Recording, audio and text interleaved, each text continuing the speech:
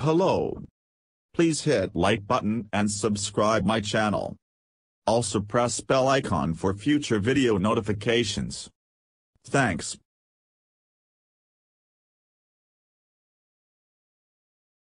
Aptera, the Californian electric car maker that wants to revolutionize personal transportation with its three-wheeled solar vehicle, aims to start series production by the end of 2022. To make this happen, it's trying to entice potential customers and investors with new developments and features.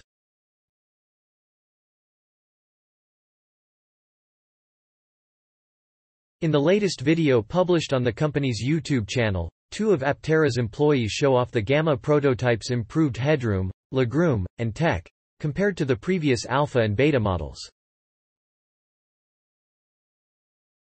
They say that the interior of the Gamma is 1% bigger in volume compared to the Alpha and Beta iterations, and that translates into more headroom and legroom. I think 6 feet 8 inches was probably the cap that we were able to fit comfortably in the Aptera.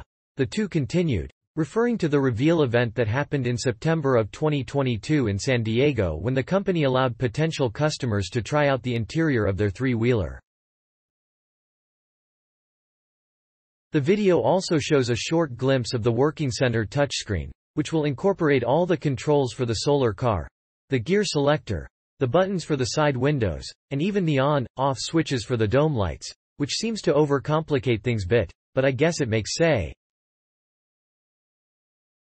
Aptera's solar electric vehicle is up for pre-order with a starting price of $25, $900 for the base model which offers an estimated range of 250 miles on a single charge, solar panels on the roof and dash, and front-wheel drive.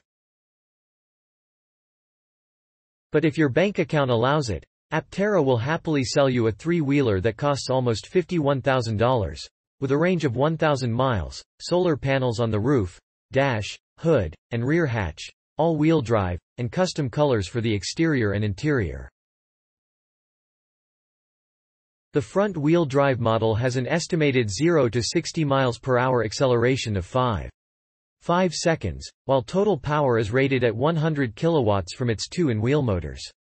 The all-wheel drive variant adds 50 kilowatts to the power output and slashes the 0 to 60 miles per hour time to 3. 5 seconds. Aptera claims its EV won't need charging from a dedicated external charger for daily use, with its solar panels providing up to 40 miles of range while stationary or during driving.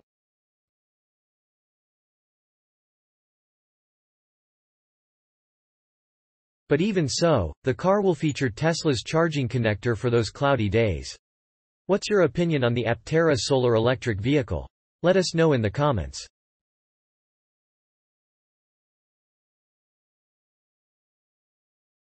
Thanks for watching. Credits to InsideEVS.com and Spide Build LLC.